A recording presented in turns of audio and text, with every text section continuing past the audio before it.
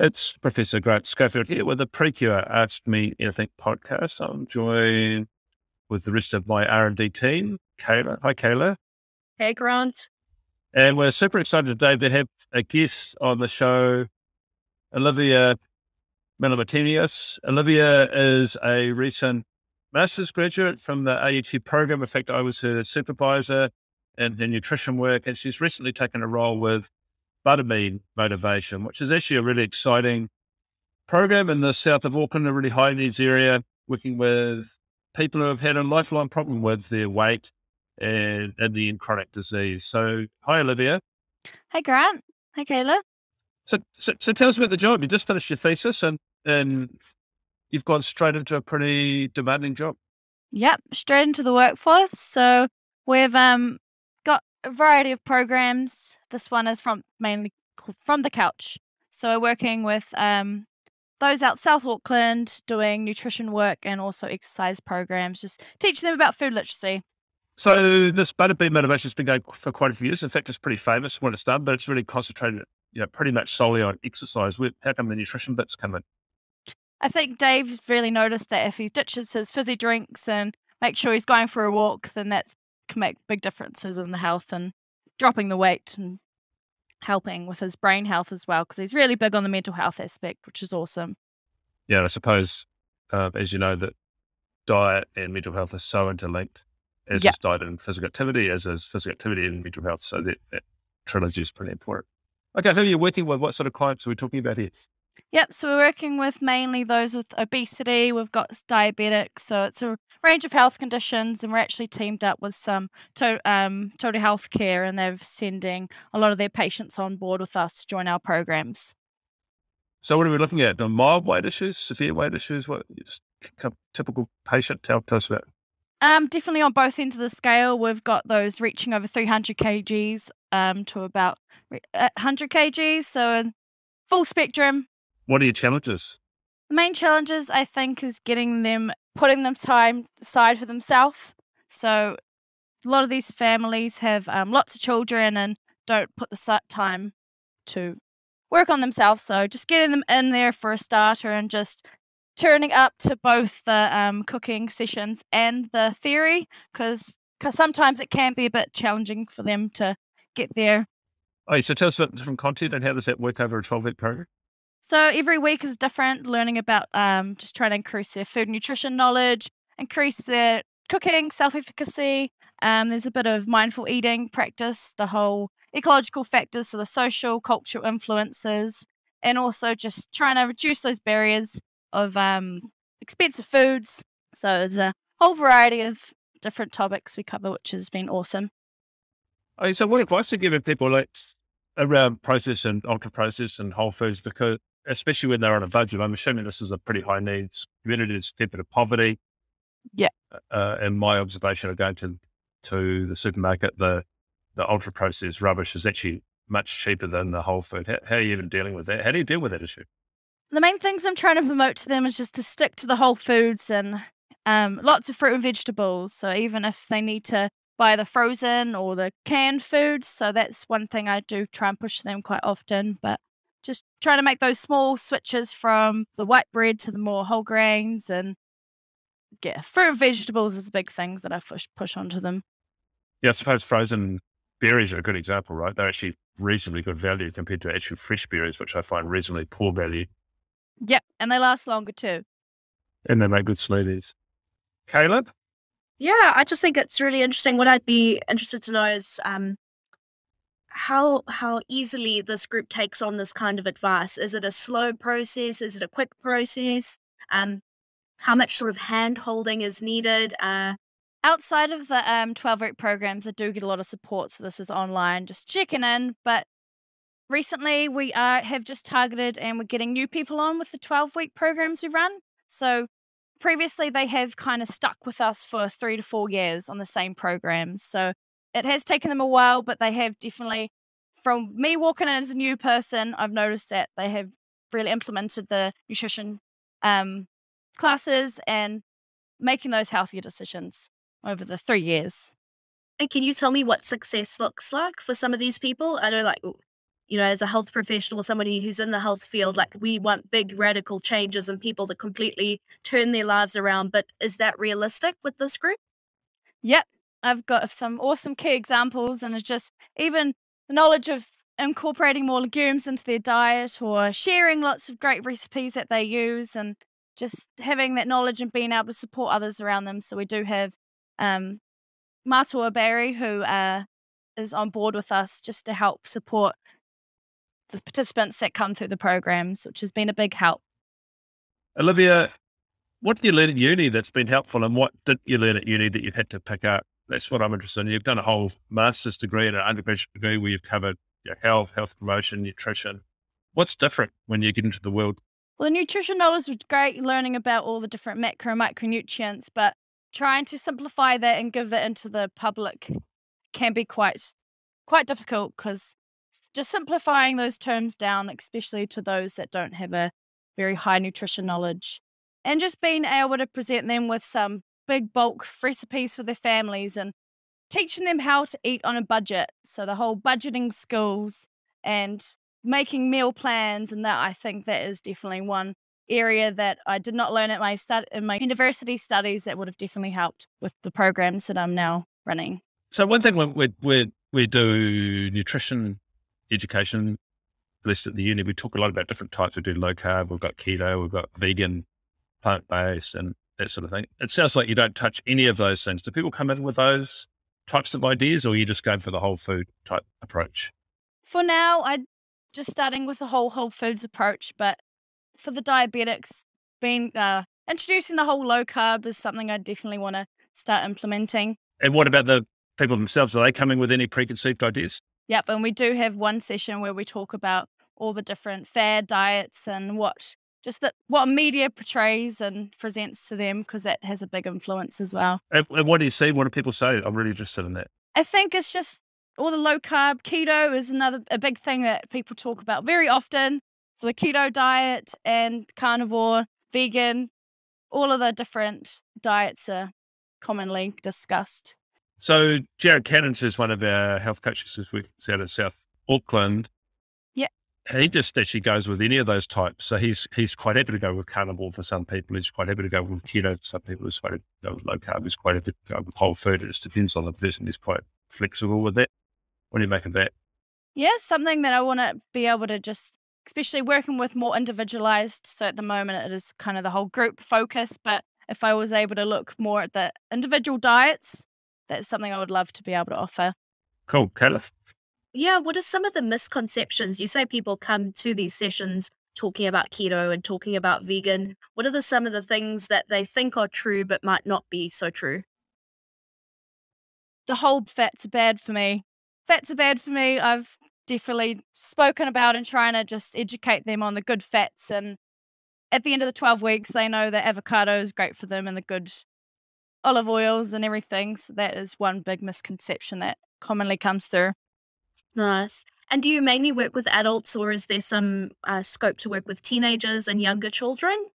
Yep. So we're mainly working with adults at the moment, but two, one youth program has just started which is going to have a nutrition component to that. There's also whānau and family program starting. So that's going to be getting them in with their kids in the kitchen cooking as well. And all of these programs will have the nutrition aspect connected to them, which is going to be great to reach those wider audiences.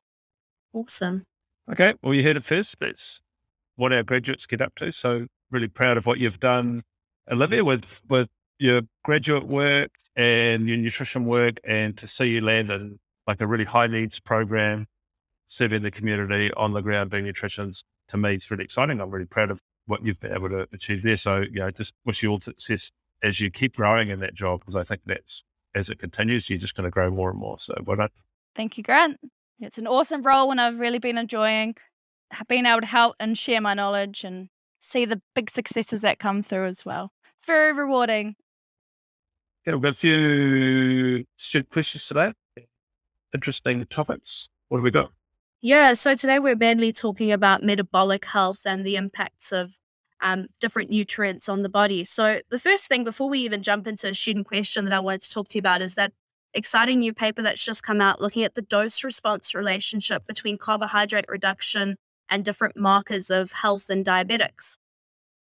Oh, yeah, well, that's great. That was in the, uh, it's, it's a meta analysis in the American Journal of Clinical Nutrition, 2022, June edition. And they've just taken a bunch of studies on looking at diabetic outcomes. So mainly the primary one is obviously HbA1c, so blood glucose. They've got fasting blood glucose, blood pressure, weight, all of the lipid panels.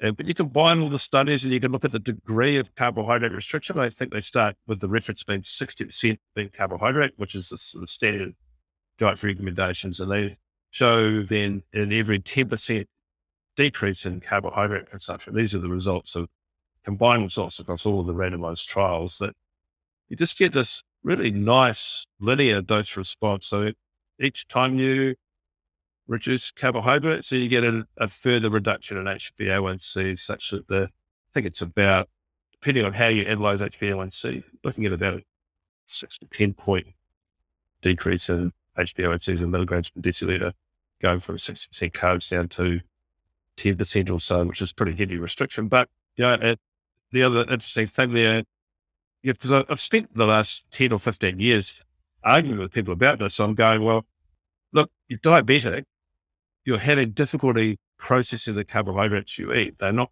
getting into cells well. They're sitting in your bloodstream for a long time, glycating everything they touch. Not mm. only that, uh, you've got probably high insulin, and that insulin in of itself is damaging. It's inflammatory and anabolic chronically, which is a problem. Inflammatory, uh, this inflammation is primary cause of most chronic diseases.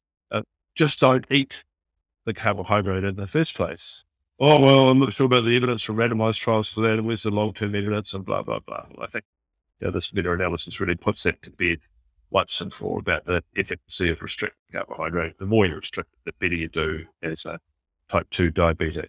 Uh, and it's not just that, it's blood pressure shows similar linear reductions. Weight shows similar linear reductions. The more you restrict, the more you lose. Uh, all the lipids go in the right direction. You have increases in HDL the more you restrict. Decreases of fasting triglycerides, you restrict. And the big bad baddies that apparently went up, well, total cholesterol and LDL, both really don't change too much. And if anything, so a slight trend on decrease. So, yeah, I think really, I, I, was pretty excited to see that paper. And for those of you who are out health coaching or working in with other providers and dietitians and doctors and the like who are still a bit know, reticent about that approach. It's a great paper. It's a it's a it's a top shelf evidence. It's the study of the studies, the meta analysis of the randomized trials. It's as good as it gets, and it gets it. Oh, absolutely. They're so profound, and I think the point that you touched on about people being apprehensive about the application and the translation of the sort of these things into practice when people accuse um, low carb of being ineffective when we translate it into practice, I, I would really rebel against that and get them to look at the Virta trials who've just recently published their two year follow ups, and people are maintaining or even continuing to uh, decrease HbA1c, which shows that reversal of diabetes is possible through lifestyle change. And I think that that long term trial, accompanied with this really top shelf evidence, shows us that yeah, maybe we did get it wrong for a long time, but there is hope and we can get it right. And telling people that they can reverse their diabetes does give them hope, and we should be doing more of it in practice. Yeah, the funny thing, I 100% agree with all that. The funny thing about all this is the most all the excitement around the SGLT2 inhibitors. Yeah. And they, these are a drug that uh, work in the kidney to make sure you don't reabsorb glucose. You end up urinating out a whole bunch of glucose from your bloodstream. It could be 60 to 100 grams a day, depending on, on who you are and what the dose of those inhibitors are. And you know, people are really excited about the these, they, you know, they've been shown to reduce uh, heart disease, cardiovascular death, and those sort of hard endpoints, as well as being good for diabetes. And that. So I'm calling these low carb mimicking drugs, is what I'm calling them, because you know there's a couple of ways to get glucose out of your system. You can pee it out, by taking drugs, or even just not eat it in the first place. And I'm not against these drugs, and they've definitely got their place. But you know, why why are we not better with the advice of just not eating glucose in the first place? Yeah, and I think it was only so long before the medical uh, pharmaceutical community cottoned on and and produced a pill for what lifestyle can do. Unfortunately, so let's kick into some of these questions. And the first question here I've got is, why is processed food like cheese and bacon recommended on a low carb diet? Well, I'm not sure it is because I think I think what I, I think we're profoundly going don't eat ultra processed food. So stuff that was never recently obviously alive. And yeah, the keto community is guilty as every other community. In the food industry is in there and you can get these fat bombs and, you know, I like a packaged super chocolate nut butter that I actually had some of at home better than anyone, but those aren't whole food. It's not, shouldn't be the basis of your diet. Uh, so we're all for whole food. Things like cheese and these things are processed foods. Uh, they're not ultra processed. So I think we talk about a level of processing that was sort of artisan or pre-industrial revolution as probably being acceptable. And yep. something cheese and fermented dairy and all these sorts of things, probably, providing you can tolerate those sort of stuff, struggle with. You know, to get to the question of bacon, you know, bacon really has a cult following. And, you know, for a while I had a t-shirt, you know, eat more bacon on it. Someone gave me a low carb conference and, you know, it was all good fun. uh, and, you know, I like bacon as much as you know. I said, but yeah, bacon is, is processed meat. And, yeah. Uh, but I suppose the other thing way to think about processed meat is that not all bacon's created equal. The sort of thing you get from a, a corner butcher that's doing their own curing is, is quite a different product than an antibiotic laden pig that was uh, had extra water injected into the bacon and it shrivels up when you cook it and it's full of uh, nit- nitrates and these sorts of things is, is a very different product. And I don't think anyone's recommending any of those, but yeah, the the like the keto community, which we've both been part of, Kayla, as as you yeah. know, yeah, not not immune from the influences of uh, of uh, ultra processed food either. So, can, can you be in nutritional ketosis, and can these form part of your diet? Well, probably. Uh, and I think it's probably that three meal rule, isn't it? That 21 meals available, people take in a week, and depending if you're fasting or not. And yeah, you make 80 of them whole food, then more power to you. And if you fall off for the other three, well, yeah, you could possibly do better, but you, you live in a pathological food environment, so you're doing pretty well, frankly. Yeah, absolutely. I think the main takeaway there is that um, no dietary trend, no group is ever immune from marketing at the end of the day. And uh, influencers are going to jump on bandwagons. Uh, that, like you say, there's a cult following with bacon. But if we are critical of what is whole, what is unprocessed, and we base our diet on that and then build from there. A little bit of bacon and some cheese is not the end of the world. If you're doing low carb or keto and you don't understand why you're not losing weight, but you're having bulletproof coffee for breakfast and bacon and cheese and cream cheese for lunch, and then the same thing at dinner, then maybe it's time to sort of reassess and start looking at reintroducing some of those low carbohydrate vegetables, you know, your uh, cruciferous vegetables, your leafy greens, getting those into your diet and paring back the fat a little bit. Um, the other thing with bacon is it's not great bang for buck in terms of protein, so uh, it's very high. It's higher in fat than it is in protein. So choosing to have it every night for dinner is probably not the best idea. Uh, but it's not like it can't be part of a good diet. Then I've got to add in a few more things in, just a couple of things that people want. official. Yeah, the amount of protein I think is important. You can just but look, I made a bit of a mistake with that with the original what was happening, you know, 10 years ago now. It's going, you know, be careful with your protein, you overeat it. So I think first of all, just, you know, go for it on the protein, good quality protein. It's highly satiating. And I think you're just going to eat less the more protein you eat. And I think most of us under eat protein, but it's expensive and hard to get. Uh, the second thing I just wanted to say in, in defense of the low carbers is, well, you know, there's all these other joggers as well. with the vegans with the plant based stuff and the impossible burgers. I mean, I pledge it's ultra processed rubbish that you try to masquerade as a meat substitute. And Absolutely. So that, that, I mean, that's that's this. And yeah, we will sort of go down that category. Uh, what was the one I was just listening to on the radio uh, this morning about their oat milk?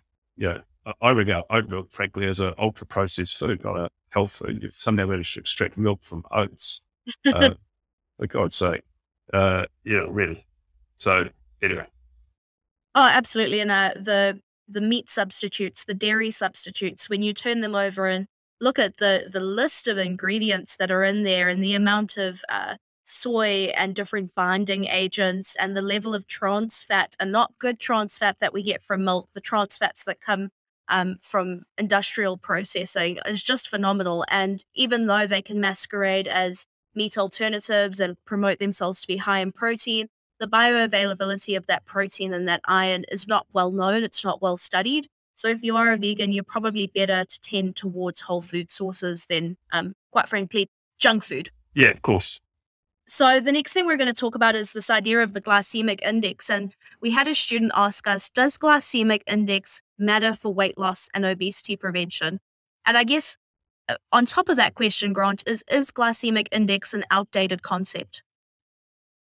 Yeah, I think the, the idea of it's good to know what it is and how it came about, and you can see the holes in it. I think I do think it's outdated now and you why in a moment. I do think what's important is what happens to the glucose and insulin in, in your blood. So that's a crucial concept in well, I'd say that as we get through this little topic. Uh, glycemic index was really developed for the University of Sydney. Jenny Brand Miller had healthy people, and that's an important thing. Healthy people eat, insulin sensitive people eat a variety of foods and just measured their blood glucose response into those foods and then pegged them against uh, white rice, which had a, a glycemic index of 100. And so things were either more slowly absorbed or more rapidly absorbed than that. And so and it is all carbohydrate containing foods, of course, so things that are affecting that, that glycemia. And people things had different glycemic indices. So your brown bread with more fiber in it, possibly went slightly more slowly, and so raised the glucose less rapidly than say white bread and say the brown rice versus white rice. You know, these, these various sorts of things and so on. So that's all very interesting. But I think there's a couple of observations. First of all, it's a property of the food, not the person. So why is that important? Well, it's important because people who aren't insulin sensitive or metabolically healthy or insulin resistant have a profoundly different effect. So if something has a reasonably good glycemic index for a healthy person, will still give someone with insulin resistance, hyperglycemia, or hyperinsulinemia. In other words, it, it way over raises their blood glucose and their blood insulin. The fact that it's going more slowly means that it's just high for longer. Uh, yeah, fair enough. It's better than the crappy, more easily absorbed carbohydrates, the white rice over the brown rice, the brown bread over white bread sort of thing. But mm. uh, it's still provoking the sort of metabolic response that we don't want. And so it's a property of the food, not the person. It's a problem I have with glycemic index. Uh, I think, so far as that question is concerned about weight loss, I suppose the thing is for someone who's metabolically healthy, then improving the glycemic index of the food you eat or health. Then the next yeah. thing to think about as well, actually, who eats these foods by themselves? You know, yeah. I have a piece of plain white bread or plain white rice. It's always eaten as a meal. Uh, and so we can start to think about the glycemic load, which I, I, think about as two things. So it's the property of the all of the food that goes into that person, and it's how it affects their individual blood glucose response. So uh, you can imagine, I'll just take me as an example because it can't really offend me, such a well offender. Uh, but me as a 14 year old boy, I was probably much more insulin sensitive than I was when I was 35, and now as in my mid 50s, uh, I'm different again. So the exact same meal had a profoundly different effect on the glucose response and the insulin response it provoked, probably getting worse yeah. over those times. And so we measured the glucose and insulin response I had is the glycemic load of that meal. Uh, it's really a property of the person and the meal they. And I think that's the important concept, is not the glycemic index. Glycemic load. And those will vary within me. So I, I have a poor night's sleep and I'm stressed out the exact same meal will have a different effect on me metabolically. In other words, it'll raise my glucose more and my insulin more when I'm stressed and underslept than when I'm calm and well slept. And so, yeah. so I think, yeah, the glycemic index is past its use by date. We shouldn't really use it anymore. It's, it's flawed, but it doesn't mean we shouldn't be interested in glycemia and insulin. We should be. We should glycemic load, which is a property of the meal and the person. Uh, that's that's my take. What are you thinking about that? Oh, absolutely. Something I've been seeing a lot on social media floating around at the moment is this idea of of dressing your carbs up. And I think as people who are interested in nutrition, it's nothing new to us. Um, just eating carbs by themselves are going to have your glucose firing up real quick and they're dropping down really fast. So let's say you you wake up and you have a piece of jam toast for breakfast, and then two hours later you're hungry. So you grab a bagel or a donut from the coffee cart on the way to work, and then two hours later you're hungry. So you have a panini with some ham and cheese in it. And to be honest, that's the first thing in the whole day that really is starting to look like something that resembles a meal.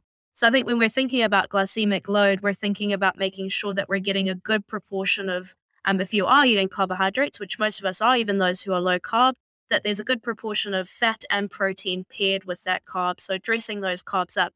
And that could be something as simple as if you want to have a banana for breakfast, um, have a tablespoon of peanut butter with it. Uh, if you want to have a smoothie, chuck some protein powder in there. So make sure that you are dressing those carbs up a little bit so that the overall glycemic load um, is not so profound on the body. And um, if you have had a poor night's sleep, maybe look at paring your carbs down for the day because you know your body's not going to adjust so well to processing those carbs.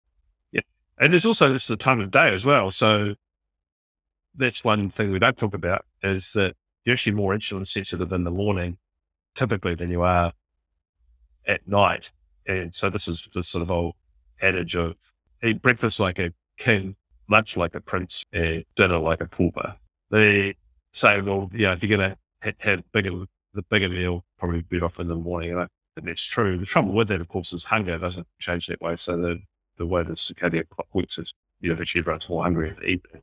Yeah. So they're a bit like. And, and you know, with intermittent fasting, people are like, well, you know, you'd be much better fasting in the evening, which I agree would be, um, except for it would hurt a lot more um, and be socially not that much fun. Yeah. So yeah, that, that's another factor to take into place. If you think about the glycemic load of a meal is different in the morning than it is in the evening. Yeah. So we've got one last question and then we're going to wrap up. And this question is really about the interaction and, and risk between diabetes and the development of uh, neurodegenerative diseases. So we've got a student asking, can I ask if type 2 diabetes is the leading high risk factor of developing dementia? What does that mean with those with type 1 di- diabetes? Are they less at risk, the same, or lower? What a great question. Oh, it's fantastic. Got, we've got awesome students. So that's a good question. Does having high blood glucose a la type 2 diabetic, which is the way you diagnose type 2 diabetes? So pre-diabetes, fasting blood glucose, I want to do HbA1c. HbA1c over 40, so but under 50. Uh, so diagnosis of diabetes type 2 full uh, HbA1c over 50 at, the units we use in this country at least. So, yeah, double your chance of Alzheimer's, particularly for women, uh, more so than men. High blood glucose is really the leading risk factor for, poor neurological health into old age. And reduce you can reduce your risk. So that's a really important issue. Uh, Alzheimer's and dementia are vascular and metabolic diseases. Uh, we can sort those vascular risk factors. We can help uh, slow the progression. But does it mean it's going to be eliminated completely? No, there's other risk factors as well. Some of those are genetic and other things we don't yet understand, like uh, how much you sleep, sleep quality, drugs, alcohol, all these sorts of things. But but glucose certainly plays a, a key role. And so then, well, the next question as well, if you've got type 1 diabetes, are you equally at risk as well? Well, I suppose it depends on how well you control your blood glucose. Because remember, yeah, type 1 diabetes isn't defined by having out of control blood glucose. It's defined by the inability to produce insulin from the pancreas. Those cells, the beta cells that produce insulin, have uh, died off for some reason. Most probably attacked by the body's own immune system or, an autoimmune situation of some sort. And so you'd have to try and now manage your blood glucose by injecting or having an insulin pump inject insulin into you to try and prevent your blood glucose from going too high. And the problem with that is that the body is much more finely tuned for that than the feedback that you get from testing your own blood glucose and injecting your own insulin in with a slightly automated process. And so you miss. and it's inevitable you're going to miss. So sometimes you take a little bit more insulin than you should, and your blood glucose goes down lower than it should. That's hypoglycemia, and it can be dangerous. It can be life threatening. Uh, and sometimes you miss by not injecting enough insulin, and you run high blood sugar, but at least you don't get uh, low blood sugar. And that high blood sugar will increase your risk of Alzheimer's and dementia, amongst everything else, kidney disease, eye disease, uh, heart attack, stroke, because high blood glucose is a risk for all of those. And so, so type 1 diabetics can often have high blood glucose uh, outcomes, which is bad. Uh, but it doesn't have to be that way. So I've become a real fan of, of R.D. Dykman, a, a, doctor in the US, has proposed a, a, lower carbohydrate method for managing type 1 diabetes. Uh, I'm not saying you should do this yourself if you're type 1 diabetic, it's, some expert help, but there's some really good evidence that you can get really good control. Uh, and if you're well fat adapted with a low carbohydrate diet as a type 1 diabetic, then you can reduce your risk of hypoglycemia, you know, really 18 fold, which is, you know, a fantastic outcome from you know, a hypo or two every day or a few times a week down to once a month or even less.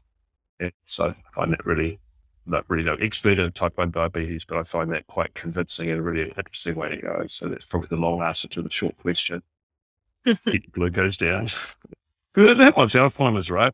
If you ask anyone about how they want to live the last decade or two of their life, no one is going to say, oh, I'd like to have better analytic tau accumulating in my brain uh, and sort of spider webbing and uh, atrophying away, really, to be left with a, a, body, but without my mind. I can't imagine anyone aspiring to to that.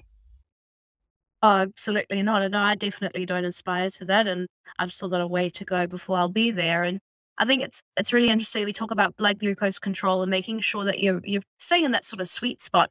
And it brings back to memory the paper we spoke about last week that talked about different sites of insulin resistance and the brain being one of those sites. And I think that that's a really interesting concept. And therefore, making sure that we're regulating our blood glucose, whether that's through uh, diet, exercise, a combination of the two, is really important, regardless of whether you have type 1, type 2 diabetes, or you're just a seemingly normal, healthy individual. Making sure that you stay in that sweet spot for a long time is going to have profound benefits on your physical health and your brain health. Couldn't agree more. And just to add to that last bit, around the brain and insulin. The, the brain actually can produce some of its own insulin as well. Exactly what that does and how that works, I think still to be unknown, but there's actually also insulin producing cells uh, in healthy human brains. So watch this space. Awesome. That's all our questions for today, Grant. Okay, well, it's a wrap on the AMA podcast with PREKURE. You made it this far. Congratulations and thanks very much for being part of it. And as always, if you want to get on the show and have your question answered or just be part of the discussion, info at prekure.com. Catch you soon.